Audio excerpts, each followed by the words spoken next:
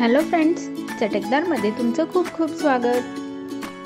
आज आपण मसाला पराठा कसा बनवायचा ते बघणार आहोत.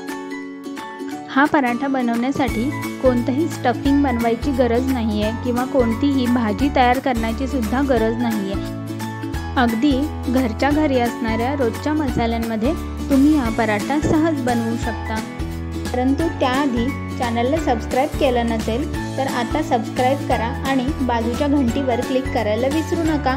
म्हणजेच माझे व्हिडिओ अपलोड झाल्यानंतर ते सगळ्यात आधी तुम्हाला दिसतील. चला तर मग रेसिपीला सुरुवात करूया. आधी आपण पराठ्यासाठी लागणारी कणिक मळून घेऊया. रेग्युलर आपण चपातीच्या पिठासाठी जशी कणिक मळतो तशीच मळायची आहे. इथं मी गव्हाच्या पिठामध्ये थो दोन चमचे तेल घालते आणि त्यानंतर थोडंसं पाणी घालून घट्टसर असा कणकेचा गोळा मळून घ्यायचा आहे. आता ही मळलेली कणिक तेलाचा हात लावून थोड्या वेळासाठी बाजूला ठेवूया आणि पराठ्यासाठी लागणाऱ्या मसाल्यांची तयारी करून घेऊया. सुरुवातीला मी इथं घेतले दोन मोठे चमचे इतकं लोणी लोणी किंवा बटर यापैकी जे तुम्हाला आवडत असेल ते तुम्ही वापरू शकता. त्यानंतर त्याच्यामध्ये घालायचं आहे एक चमचा ओरिगॅनो. आणि हे व्यवस्थित मिक्स करून घ्यायचं आहे दुसऱ्या बाउलमध्ये मसाले तयार करून घेऊया. त्यासाठी आधी घ्यायचं आहे एक चमचा गरम मसाला. त्याच्यानंतर घ्यायचा आहे एक चमचा सांबर मसाला. एक चमचा जिरेधने पावडर. अर्धा चमचा चाट मसाला. अर्धा चमचापेक्षा थोडं कमी असं मीठ थोडेसे भरडे वाटून घेतलेले चिली फ्लेक्स एक चमचा कारळ्याची चटणी एक चमचा. आता याच्यामध्ये कारळ्याची चटणी पूर्णपणे ऑप्शनल आहे. तुमच्याकडे नसेल तर तुम्ही अवॉइड करू शकता. परंतु याच्यामध्ये घातली तर पराठ्याला खूप सुंदर अशी चव येते. त्याचप्रमाणे हा मसाला अजून झणझणीत आणि चटपटीत बनवण्यासाठी तुम्हाला जे काही मसाले ॲड करायचे असतील ते सुद्धा तुम्ही या बरोबरीनं ॲड करू शकता.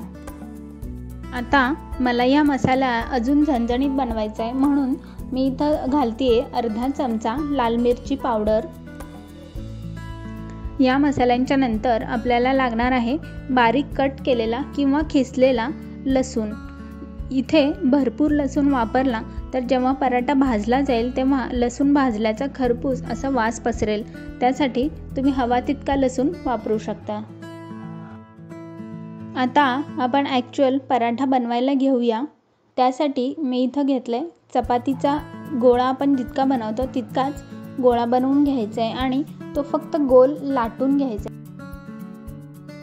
त्यानंतर या लाटलेल्या चपातीवर भरपूर प्रमाणात बटर लावून घ्यायचं आहे आणि त्यानंतर आपण बनवलेला मसाला भुरभरून घ्यायचा आहे लक्षात घ्या की हा मसाला भरपूर तिखट आणि मसाले घातलेले असल्यामुळं झणझणीत असा बनलेला असतो. तर तुम्ही लहान मुलांसाठी हा पराठा बनवत असाल तर मसाल्यांचा वापर कमी करायचा. त्यानंतर त्याच्यावर बारीक कट केलेला लसूण पसरवून घ्यायचा आहे मी इथं थोडीशी कसुरी मेथी सुद्धा याच मसाल्यावर पसरवून घेते. त्यानंतर खिसलेलं चीज या पराठ्यावर भुरभरून घ्यायचं. आहे आणि आता या पराठ्याला छोट्या छोट्या घड्या मारून घ्यायच्या आहेत. तुम्ही बघू शकताय सगळ्या घड्या आतल्या बाजूला नाही मारायच्या आहेत एक पुढे एक मागे अशा घड्या या पराठ्याला पाडून घ्यायच्या आहेत जसं आपण कागदी पंखा बनवताना घड्या पाडतो अगदी तसंच. त्यानंतर सगळ्यात वरची बाजू जी राहील त्याच्यावर पुन्हा बटर आणि मसाला पसरवून घ्यायचा आहे आणि हा पराठा थोडासा उभट असा उचलून एका बोटाच्या भोवती गोल गोल असे वेढे मारून घ्यायचे आणि त्यानंतर जे शेवटचं टोक असेल ते मात्र आतमध्ये खुपसून घ्यायचं आहे तुम्ही ब आणि त्यानंतर हलक्या हाताने दाबून या पराठ्याचा एक छोटासा गोळा बनवून घ्यायचा आहे. मी इथं थोडंसं तिरकं असं दाबलेलं आहे ज्या ज्याच्यामुळं हा पराठा भाजताना त्याला भरपूर असे पदर सुटतील. आणि त्यानंतर नेहमीची चपाती लाटतो त्याचप्रमाणे हा गोळा लाटून घ्यायचा आहे. परंतु अगदी हलक्या हाताने ही चपाती गोल लाटून घ्यायची आहे म्हणजे त्याला जे पदर सुटणार आहेत ते दबले जाणार नाहीत. अशा पद्धतीनं सर्व पराठे लाटून ताटामध्ये काढून घ्यायचे आहेत आणि नंतर सगळे एकदम भाजून गरम गरम सर्व केले तरी चालतील. पुन्हा एकदा या पराठ्याला घड्या कशा पाडल्या होत्या हे मी अजून एक पराठा बनवून करून दाखवते. या ठिकाणी तुम्ही लोण्याच्या ऐवजी बटर वापरत असाल तर मसाल्यामध्ये कमी मीठ घालायचं आहे कारण बटरमध्ये मीठ असतं त्याचप्रमाणे कणकीतसुद्धा मीठ असतं.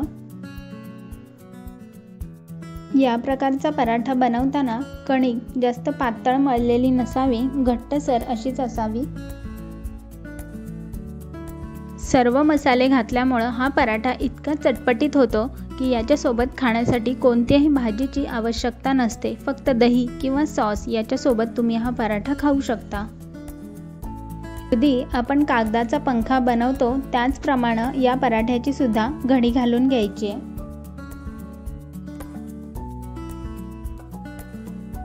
जेव्हा घरी कोणतीच भाजी नसेल आणि प्रश्न पडेल तेव्हा हा पराठा तुम्ही नक्की ट्राय करून बघा.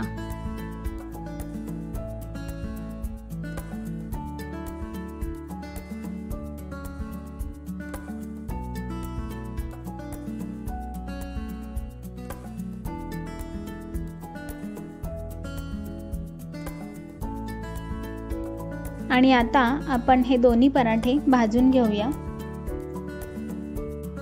गडबडीच्या वेळीसुद्धा अगदी झटपट असे हे पराठे तयार करता येतात. मीडियम फ्लेमवर तेल किंवा तूप लावून हे पराठे दोन्ही बाजूनी भाजून घ्यायचे आहेत.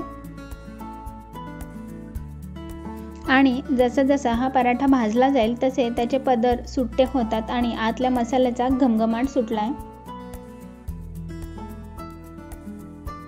आणि चपातीच्या वाफेमध्ये मसाला छान शिजला सुद्धा गेलेला आहे.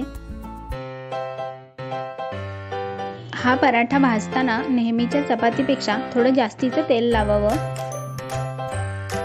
याच पद्धतीनं दुसरा पराठा सुद्धा भाजून घेतलेला आहे आणि तुम्ही बघू शकताय खूप छान असे भरपूर पदर या पराठ्याला सुटलेले आहेत आणि त्याच्यामध्ये मसाला जसा होता तसा राहिलेला आहे.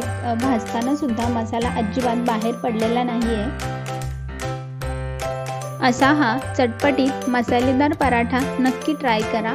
आणि रेसिपी कशी वाटली ते आम्हाला कमेंट सेक्शनमध्ये जरूर कळवा. त्याचप्रमाणे व्हिडिओला शेअर आणि चॅनलला सबस्क्राईब करायला विसरू नका.